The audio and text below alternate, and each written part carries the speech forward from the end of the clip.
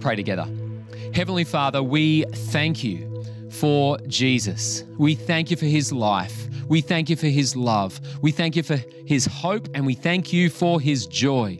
And we thank you for this opportunity we now have to gather as your people to center our eyes on the good news of Jesus. And it's in the mighty name of Jesus that we pray. And all of God's people said with one super loud voice, Amen. Amen. Welcome, City on a Hill. My name's Steph. and my name's Guy. And it's fantastic to be gathered together today as we continue in our series in 1 Corinthians and as we lift our eyes to the good news of Jesus. Good news indeed. And speaking of good news, a lot of restrictions across Australia are beginning to lift. And it makes me wonder, Steph, what is it that you're enjoying most right now?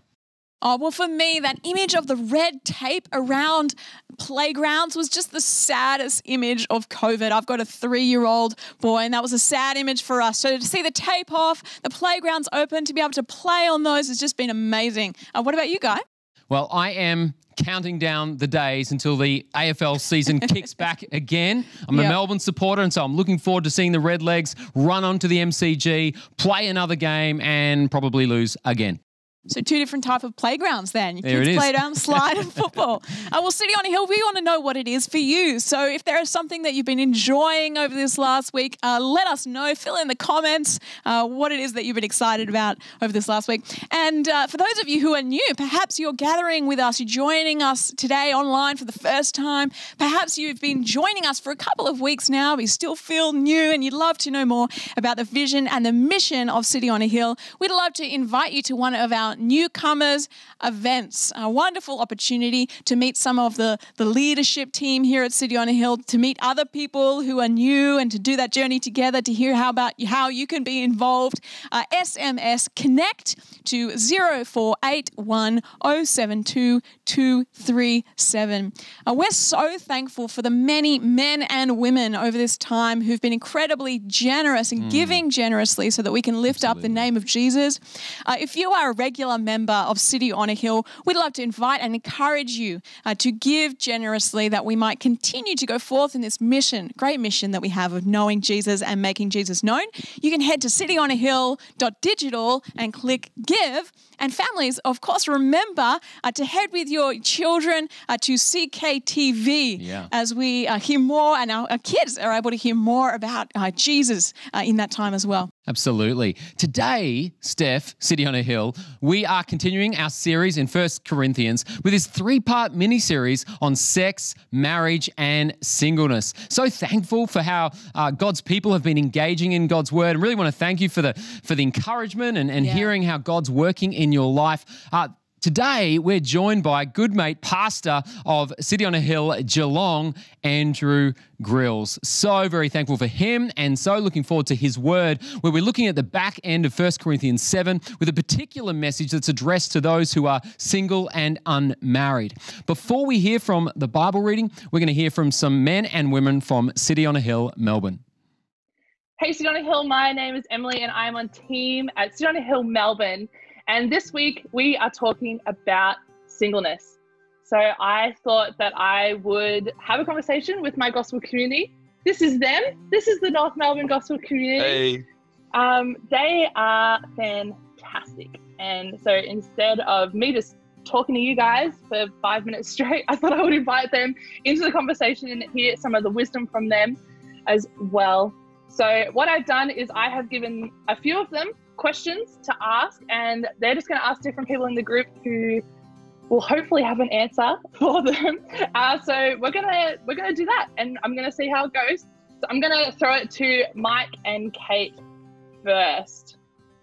Oh, Kendall, this question's for you. Hey. What do you enjoy about being single?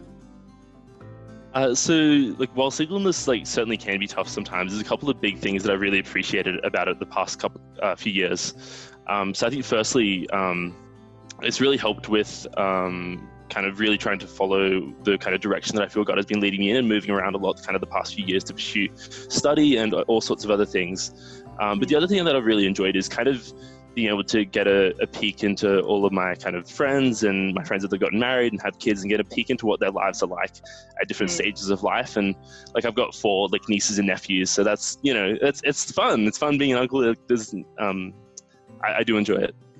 Nice. Awesome. Awesome. Uh, Curtis, I think I gave you a question too, right? Yep.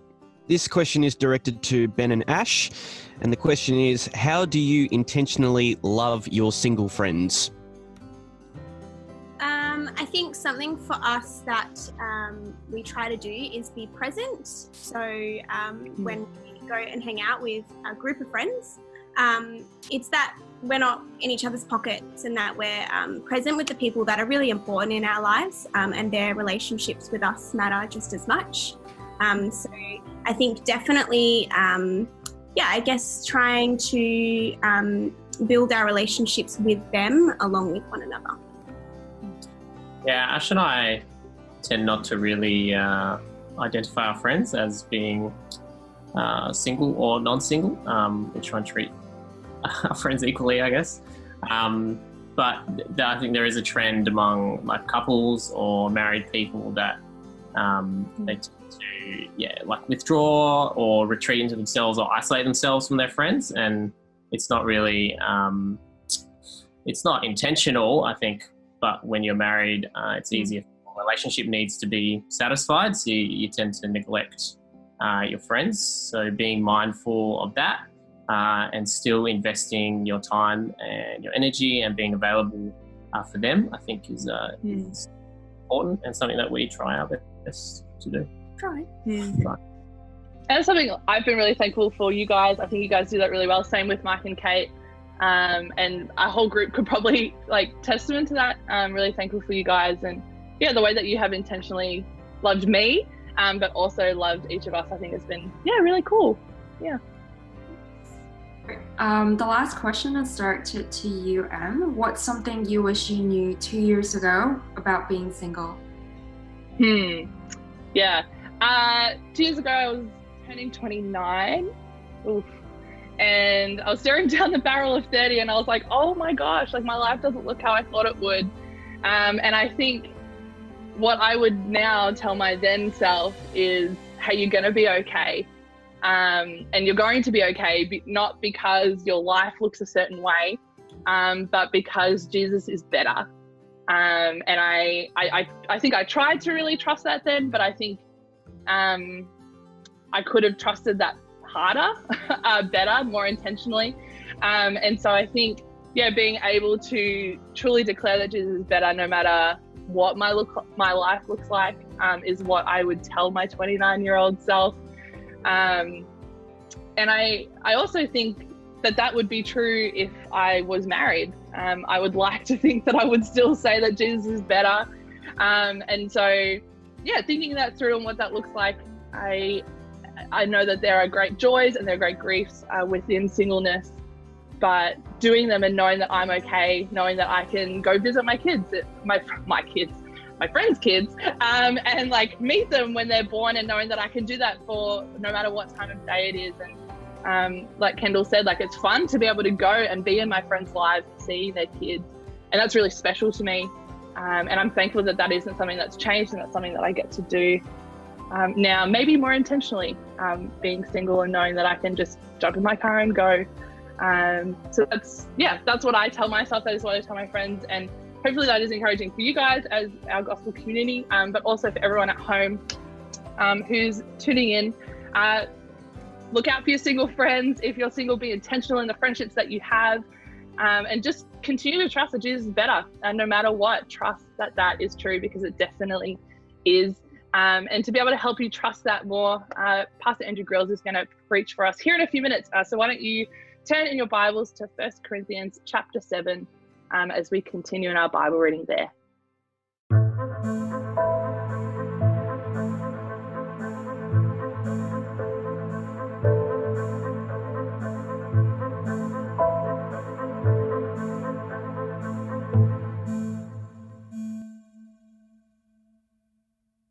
1 Corinthians chapter 7 verses 25 to 40. Now, concerning the betrothed, I have no command from the Lord, but I give my judgment as one who by the Lord's mercy is trustworthy. I think that in view of the present distress, it is good for a person to remain as he is. Are you bound to a wife? Do not seek to be free. Are you free from a wife? Do not seek a wife. But if you marry, you have not sinned. And if a betrothed woman marries, she has not sinned. Yet those who marry will have worldly troubles, and I will spare you that. This is what I mean, brothers. The appointed time has grown very short. From now on, let those who have wives live as though they had none and those who mourn as though they were not mourning, and those who rejoice as though they were not rejoicing, and those who buy as though they have no goods, and those who deal with the world as though they had no dealings with it. For the present form of this world is passing away. I want you to be free from anxieties.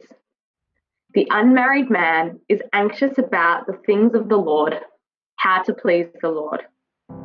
But the married man is anxious about worldly things, how to please his wife, and his interests are divided.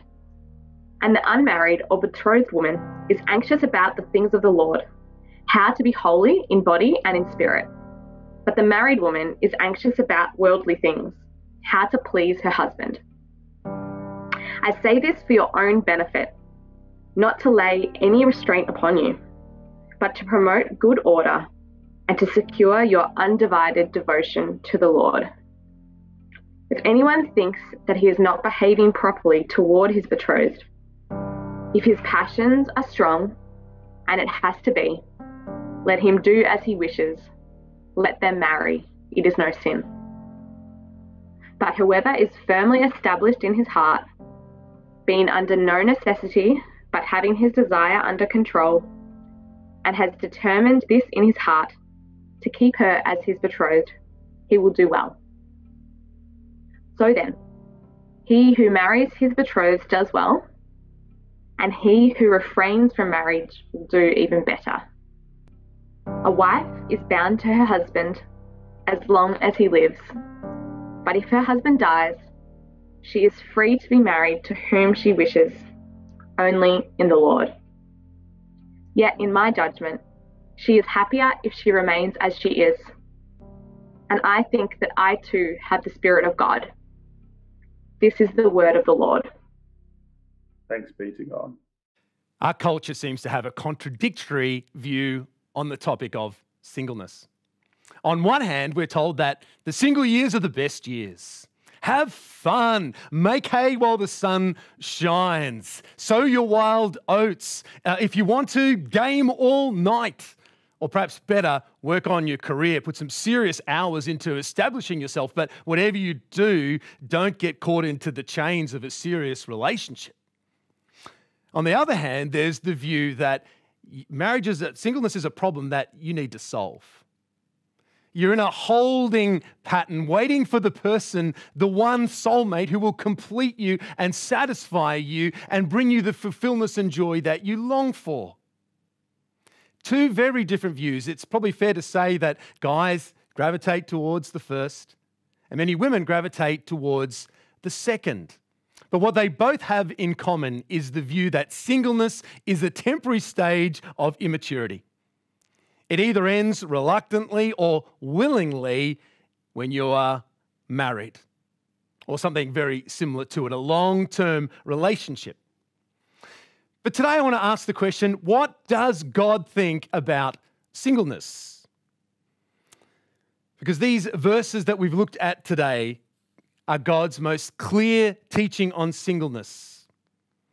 The Apostle Paul, at this stage in the letter to Corinthians, has been answering some questions that they've been asking him questions about sex and marriage and singleness.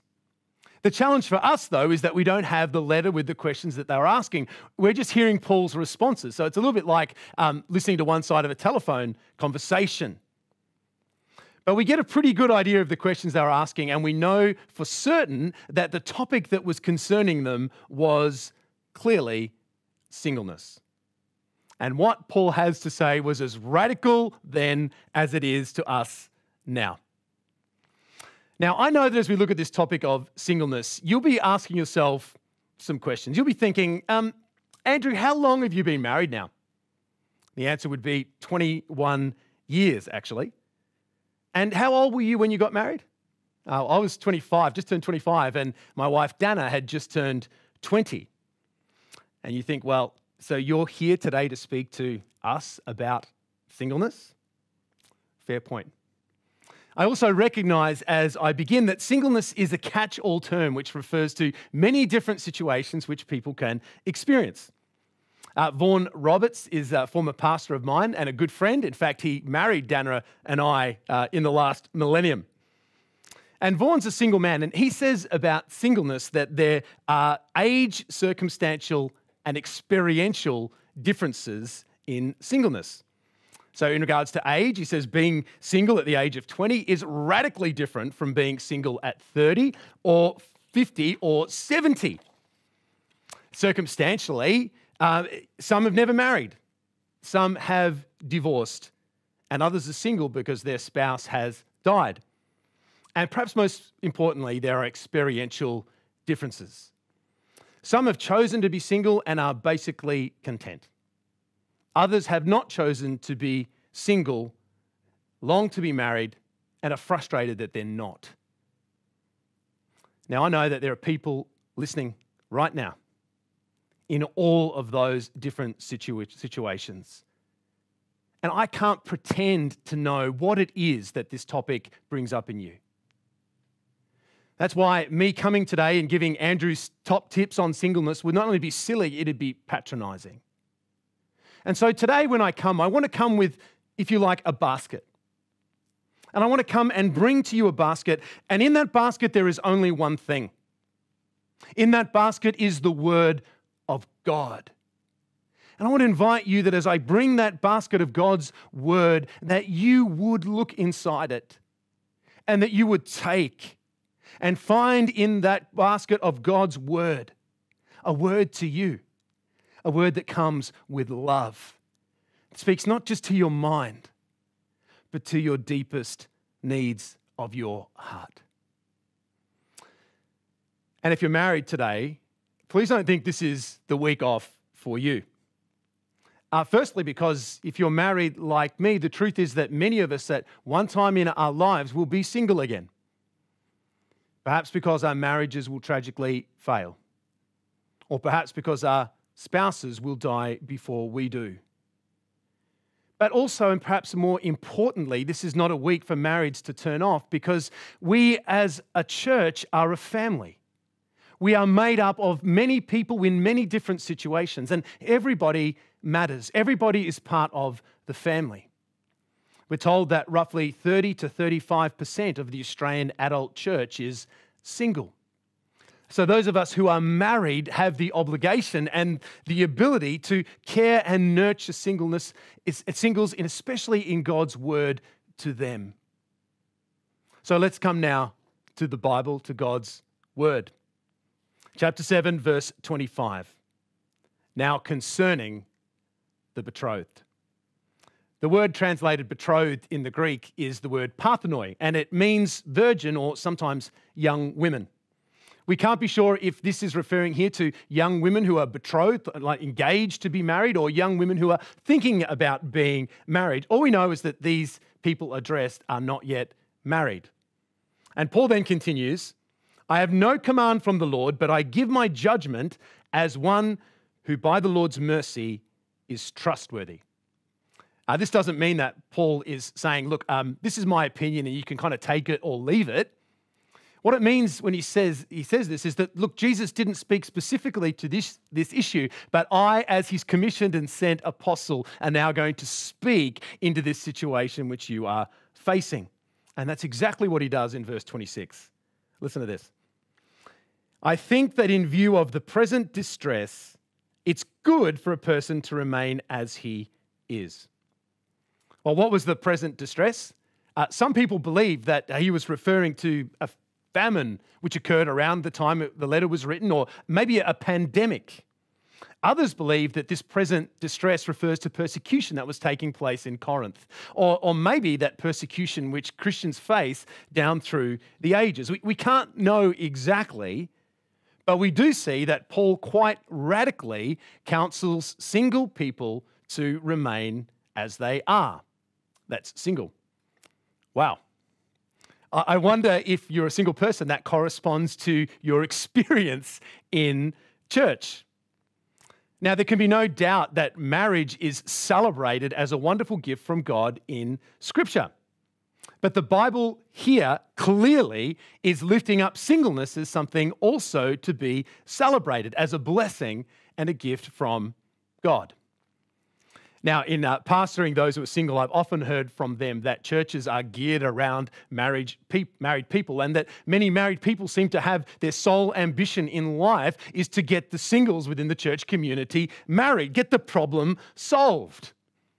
And I myself and my wife have been guilty of this. Uh, I mentioned my good friend Vaughan. Um, we delighted in setting up incredibly awkward and painful dinner engagements where he would show up with one single lovely lady, and, and we weren't even subtle about what we were trying to do. We had a good time doing that, but looking back, I realized that what we were doing, unconsciously perhaps, was universalizing the good gift of marriage, which we're enjoying, and applying it to everybody as the state of play which everyone should experience. Uh, when we do this, we actually miss the supreme irony of what the Bible teaches on singleness and the supreme irony of the most fulfilled and godly person, the one who lived the most joyous life, Jesus himself, who, of course, was single. Uh, Vaughan himself uh, tells, which, which makes me cringe even more, of uh, his conversation with a popular, a well known pastor and evangelist, uh, John Chapman. And he, John Chapman, spoke of Christian's friends constantly taking him for long walks and telling him that he should be married. And he comments and says, It would have been a great help if they had read the Bible, wouldn't it? and that's the point, isn't it? That is the point that we're looking at. The Bible insists that singleness is not a problem to be solved.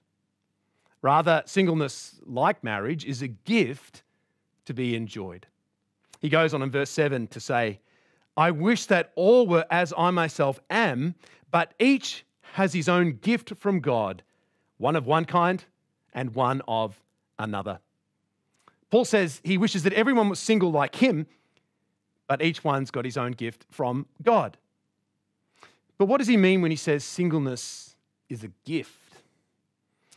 Well, a few weeks ago, I was checking in uh, with a woman in our church named Ruth. Uh, Ruth is a single woman. She's in her 50s. She lives alone. And I asked how she was doing in this whole COVID 19 isolation. She said this At the start, it was very difficult. I struggled with being stuck home, but then I came to see it as a gift from God to me. Since then, my attitude has changed and I've started embracing and making the most of the gift, she says. She was not saying that COVID 19 was a, a, gift, but she was saying that the isolation that it brought was. Now, this struck me for several reasons. Firstly, because I've tended to be one of the people who've been quite miserable about this isolation experience and what it's taken from me. But it also struck me because there's actually a very clear parallel here with what Paul's teaching about the gift of marriage. Vaughan Roberts, again, he puts it so well. Listen to what he says. A few consciously choose to stay single to devote themselves to Christian work. Most single people haven't chosen singleness in that way, and yet they have the same advantages as those who have. Instead of focusing on the difficulties of being single, as some do, we should all make the most of the advantages of God's gift of singleness while we have it. Like Vaughan, Ruth herself could have been could have chosen to be in a married type relationship. She was not voluntarily single. But she knew that in her case, moving in that direction would be to break the commandments of a good and loving God to her. And so, because she loves God more than any other person, she chooses to receive the gift of singleness and to embrace it. People like Vaughan and Ruth, who do not choose to be single, are people who shine very brightly the truth about Jesus Christ, which they embody. And according to Paul, um, singleness has some very powerful advantages in its favor. What are these advantages? Well, Paul lists three big ones. He says, firstly, for those in Corinth, the present situation, what, whatever that was, means that it's advantageous for them to stay single. Why?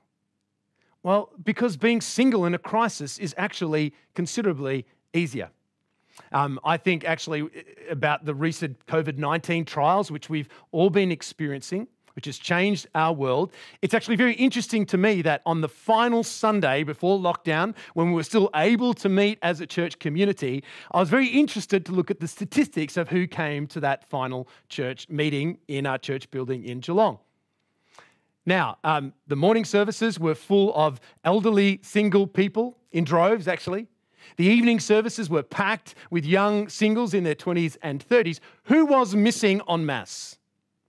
It was actually the people who, according to the experts, were the very least at risk of contracting or suffering grave harm from coronavirus young families with children. In a similar way, uh, I've spoken with a number of people, married and single, in our church who have tragically lost their jobs. Now, losing your, your job is always a stressful and, um, and a horrible experience. But it's interesting to me that the single people have generally taken it much better than the married people, especially the married people who are single income families with children. Why? Because just quite simply, being married brings with it extra financial and, and anxiety responsibilities that come, which single people don't experience in that same manner. And Paul says, so it's better given this time to, to be single. You'll, you'll save yourself from that.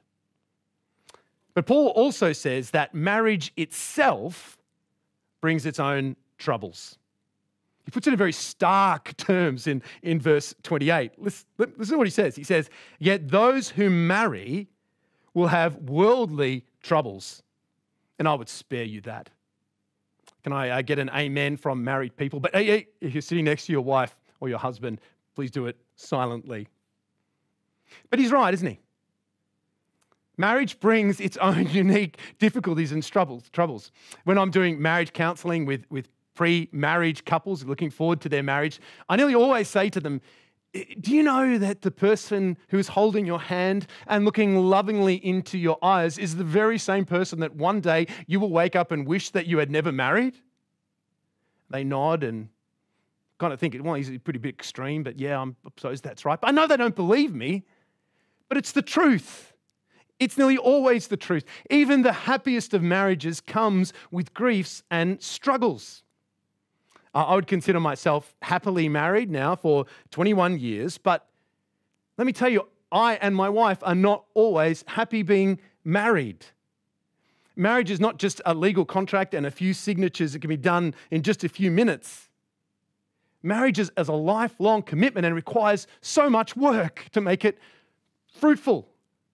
Two sinful people living together, grating on each other. It's hard work. Uh, many times in my time as a pastor, I'll, I'll, recommend marriage couples, married couples to get some counseling to help them in this. In fact, right now, Dana and I are getting some counseling from a marriage counselor to help us improve in this. It's difficult.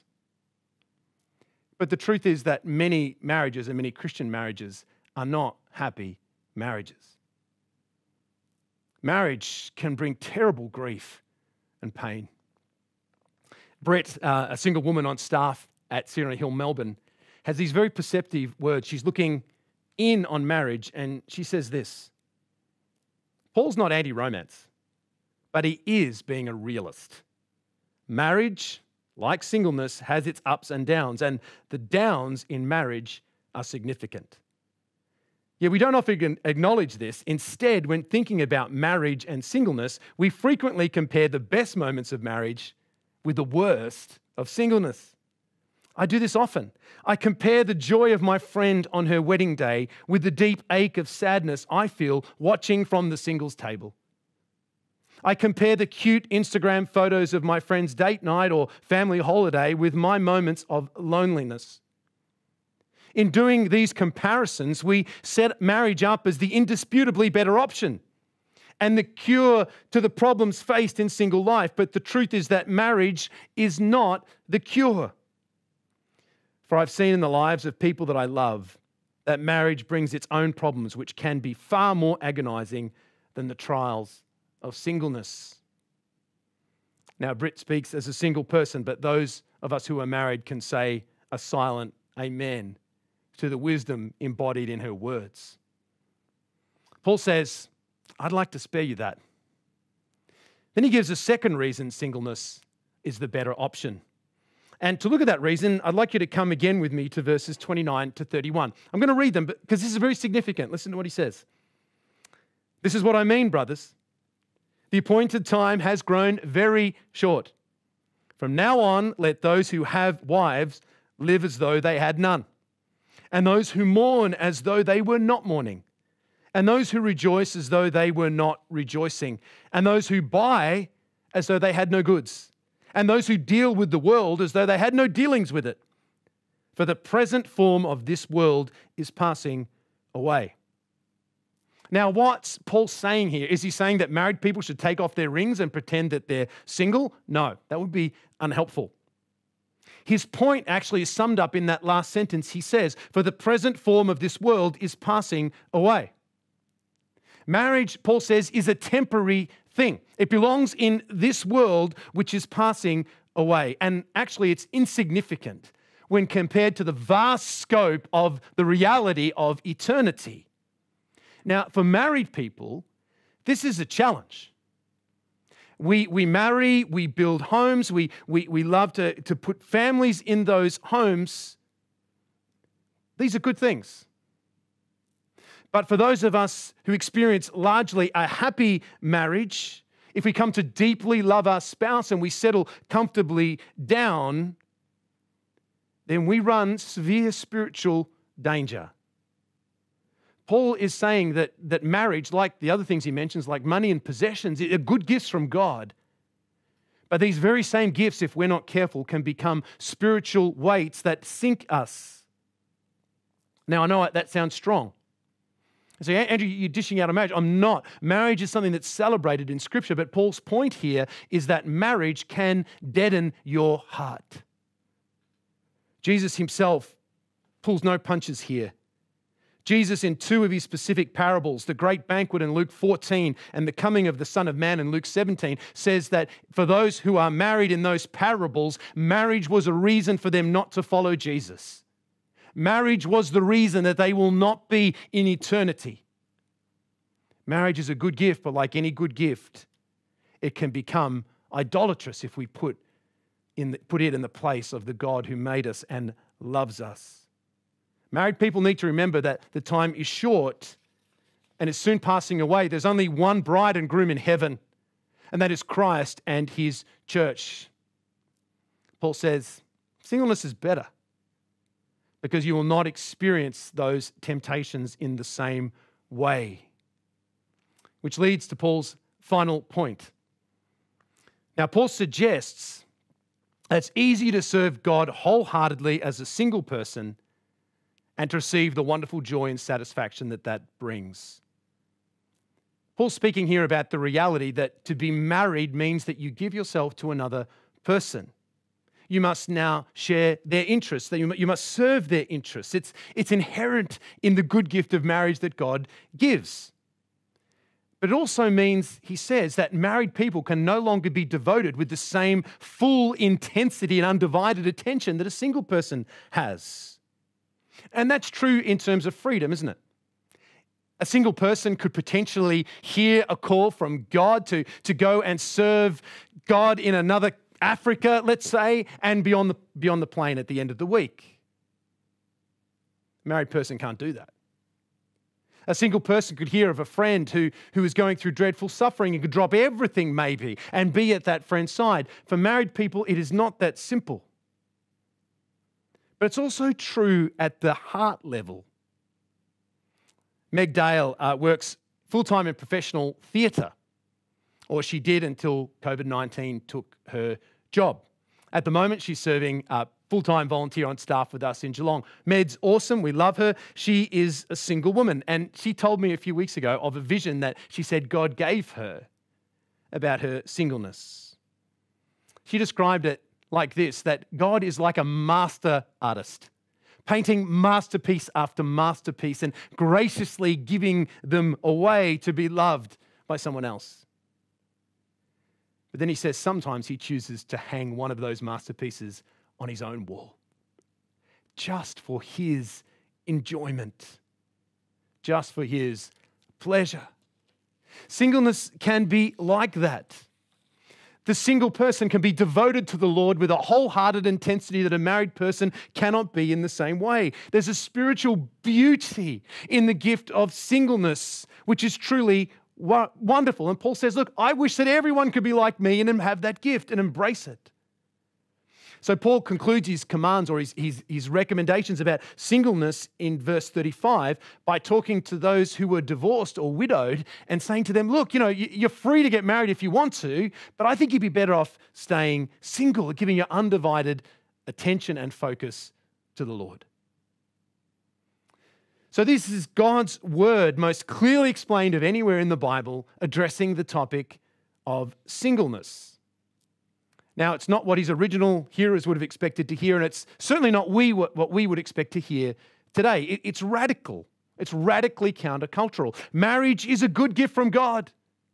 Singleness is a good gift from God, but if you've got to say one's better than the other, singleness is better.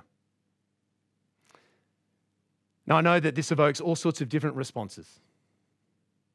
Some people would say, You're just trying to make me feel better about my singleness. I'm not. Remember, I'm bringing the basket of God's word to you and asking that you would see in it God's good gift to you. But I want to close by thinking directly about some of the practical applications of this. I'm not going to be able to cover everything, but there's a few ones that I think would be very helpful. Firstly, singleness may be better, but it is difficult. Even for those who voluntarily choose singleness, singleness is difficult. It's tough. Maybe today you're a person who hasn't voluntarily chosen singleness and you feel the ache and the loss involved in that. Maybe you're a person who is, who is aging. You'd long to be married, you feel that the age in which you could be married and potentially have, have children is passing or is past and that brings grief to you. What do you do with that? Just say, no, it's a gift. It's a gift. That's not what God calls us to be. God calls us to be real. And if you're someone today that this stirs up emotions and you feel that loss and that grief and that pain, the last thing you want to do is force a smile and pretend to be happy. Come to God with your tears. He made you, He loves you, He wants you to be real with Him, so be real with Him. And acknowledge the grief. Acknowledge the sorrow of some things that you would like, which for now may not be given to you. God welcomes your tears. Pour them out to Him. It's a great missionary, um, single woman, wrote a lot of hymns as well by the name of Margaret Clarkson. When she was in her mid 60s, she wrote these words. They're, they're wonderful but true words. She said, Multitudes of single Christians of every age and circumstance have proved God's sufficiency in singleness. He has promised to meet our needs, and He honors His word. If we seek fulfillment in Him, we shall find it. It may not be easy, but whoever said the Christian life is easy? The badge of Christ's discipleship was a cross.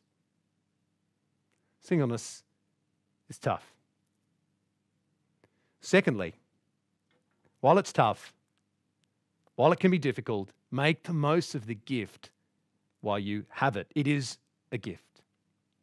Britt, who I quoted before, has this to add about how we can do that. She says this Singleness is often described like purgatory. Since marriage is assumed to be the only viable option for adult life, we come to expect it will happen. And so, to be single, particularly for women, is often to see yourselves as just waiting for marriage. A helpful little book called Bus Stops and Bicycles likens singleness to feeling like you're waiting at the bus stop for the bus to take you to your real adult life. And the message of the book is to stop waiting, instead, to get on your bike and ride to where you want to go. It's simple but good advice that I recommend, she says. So, single, get on your gospel bike, get on your Jesus empowered bike and ride. Make the most of the gift that you've got. Pour yourself out for Him. Pour yourself out for others. There, there's nothing better than the single life lived joyously in relationship with God. You say, oh, how, how, do you, how do you know that, Andrew? I don't know it, but I know that our Lord and Savior Jesus was a single man and He knows that firsthand. Get on your bike. Thirdly, watch out for selfishness. And I'll speak to married people here first. Single people have a huge and disproportionate impact on our churches. They are disproportionately serving and giving in a way that benefits every single person in the church, including the married people and the children.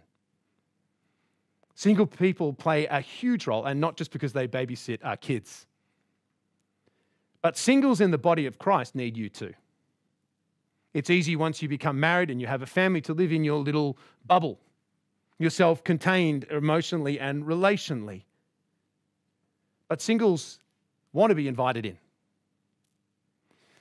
Uh, over the years, we've made the choice as a family to invite singles to come on holidays with us, single friends at church. And it's been a wonderful experience because uh, for us, we get the benefit of their company, we get the impact um, or their, their, their input into the lives of our kids. And for singles, sometimes holidays can be a lonely time. So they get some company and companionship on holidays. And, and best of all, maybe for them, they get reminded of how wonderful singleness is after hanging out with a family of seven for a few weeks. But as, as married people, that's something we can do. Singles may not want to, but we should at least invite them into our families and into our little bubbles. But singleness, singles are not immune uh, to the dangers of selfishness either. The great preacher and writer John Stott, who chose to be single throughout his life, he said these words about his own experience of singleness. He said, Apart from sexual temptation, the greatest danger which I think we face as singles is self centeredness. We may live alone and have total freedom to plan our own schedule with nobody else to modify it or even give us advice, if we are not careful, we may find the whole world revolving around ourselves. If you're married, and particularly if you've got children, you'll know that marriage and children grind away at your selfishness. everything you want to do is, seems to be subservient to what needs to be done for them. Singles don't have this forced on them, but, but singles, John Stott would say, should embrace the community, should be seeking to put themselves in positions of inconvenience, to serve and to give and to love. But the time is short, and whether we're married or singles, we're called to live out the, the life that our Lord Jesus calls us to, a life poured out for others. But finally, and this is surely the biggest one, I think, remember the truth which is yours. What was the devil's first lie to Eve in the Garden of Eden? It was this Did God really say, don't eat from that tree? Did God really say, oh, no, no, no, no, he, he doesn't want you to have the knowledge of good and evil? What's the heart of the lie that he told them? The heart of the lie that he told them is that God can't be trusted. He can't be trusted to give you what you really need. He can't be trusted to give you the happiness and the fulfillment that you long for. He can't be trusted. He can't be trusted to have your interests first. He can't be trusted to make you happy. You're missing out. That was the first and greatest lie. And it continues to be the lie that the world and sometimes the church trumpets at singles. The lie that God can't be trusted and you're missing out. One single woman, Jocelyn Bignell, wrote this. The trajectory of our culture would have us, would have us on centers on romance in a story polished to a fine gleam by Disney, pop music, and the rolling fairy tale of our Instagram feed, we're told that the destination we are all heading for and the only thing that will complete us is our soulmate. Marriage, she says, in this narrative is an idol. God can't be trusted to bring you the fulfillment that you need. Marriage can. God can't be trusted to care for your happiness. Marriage will. This other person will fulfill me and complete me. It's idolatry. It's, it's believing the great lie that someone or something beside God will really truly fulfill us. And like all idolatry, not only is it misguided and empty, but it will enchain us and enslave us. Why is it that some Christians choose to marry non Christian people? Is it because they, they've never been told about what the Bible teaches in passages like this? About marrying only another Christian? No. Or very rarely, no. It's because in their hearts, men and women believe that in another person they will find what God cannot give them. That's the great lie. The devil came to steal and kill and destroy. And nowhere does he do it more so than in the propagation of that lie. But what's the great truth? What is the great truth that we must believe whether we're married or we're single? The great truth is this Jesus said, I came that they might have life and have it to the full.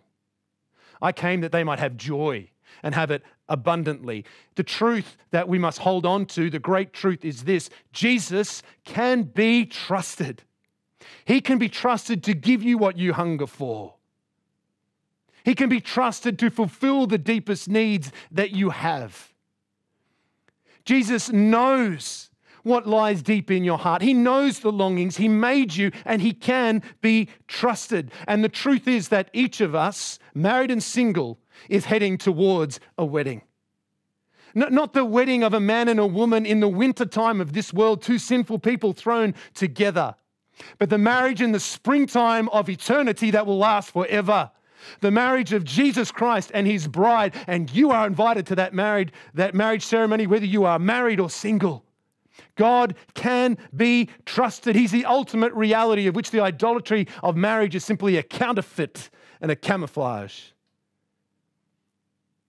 Jesus looks at me as a married person and he says, Marriage is my gift to you. Honor me in it, but it will not fulfill you. Jesus looks at you maybe as a single person and he says, Singleness is my gift to you. Honor me in it, but it will not fulfill you. Jesus said these words John 6 35. I am the bread of life. I'm the bread in that basket presented to you. I am the bread of life, he says. Whoever comes to me shall not hunger, and whoever believes in me shall never thirst. Friends, married and single, this is the truth we need to hear. Jesus is better. Jesus can be trusted. Jesus made us and loves us and knows us, and He will fulfill us. He'll fulfill us now, and He will fill us in all of eternity on that day when we enter the wedding supper of the Lamb and we begin the eternal feast that will never end. When the Lord Jesus will look to His faithful servants, who, whether married or single, walk the road that He called them, and will say, Well done, my good and my faithful servants. Come into the kingdom prepared for you before the beginning of the world. In a world with so many lies, believe and trust in the truth of Jesus Christ, the one who has gone before you and is calling you to the, to the wedding supper of the Lamb. Let me pray. Father, we come to this topic and we know that it can be sensitive and painful. So we pray, Lord, that we would feast from the basket of your gift to us, of your word. Jesus, you're the bread of life. Only you can fulfill us. Help us, Lord, to listen and trust in you, to shut our ears to the call of the world and those around us, and help us, Lord, to be men and women, married and single, who model the truth that Jesus Christ is enough for us. It's in his name that we pray. Amen.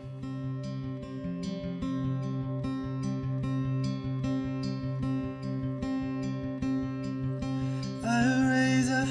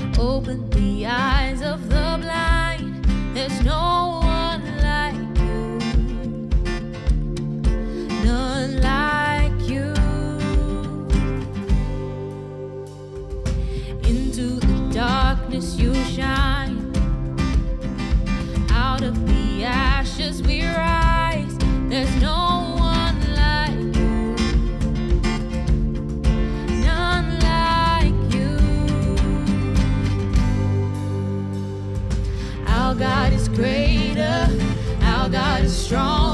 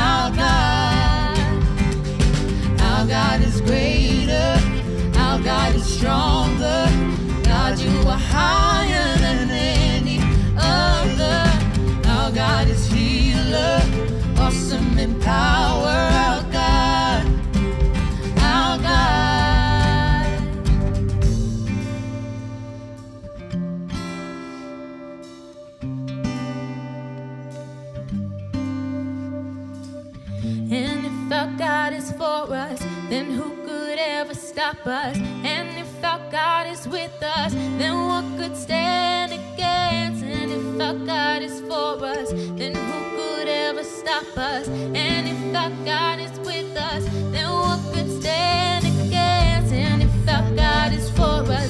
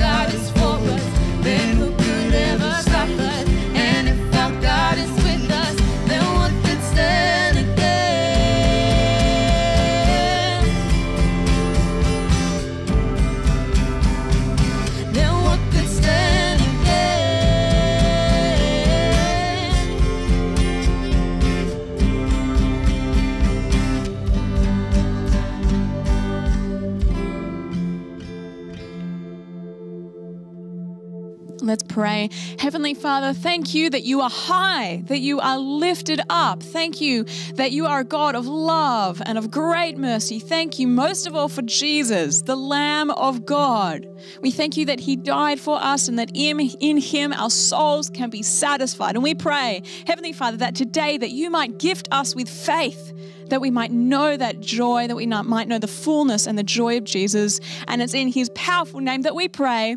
Amen. Amen. Thank you, Stephanie. And thank you, City on a Hill, for tuning in uh, for City on a Hill Digital. Uh, and a big, big thanks to Pastor Andrew Grills for such an Yeah. encouraging message, reminding us of the good news of the gospel. Let's thank Andrew right now, wherever you are. Why don't you, I don't know, share the, share the love and post your favorite emoji, whatever it is. Awesome. He's done an amazing, amazing talk. Yeah, it's great. And what an incredible of- vision of Jesus that we have seen today. Uh, some of you are hungry to be satisfied, that you're hungry to know joy and meaning and life. And today, Jesus says to you, Come. He invites you to come to Him. And if that is you, I want to encourage you today to say yes to Jesus, to come to Jesus. I want to encourage you and invite you uh, to SMS. Pray to 0481 072 237 so that you can do that journey of following Jesus with others. Uh, some of you know Jesus,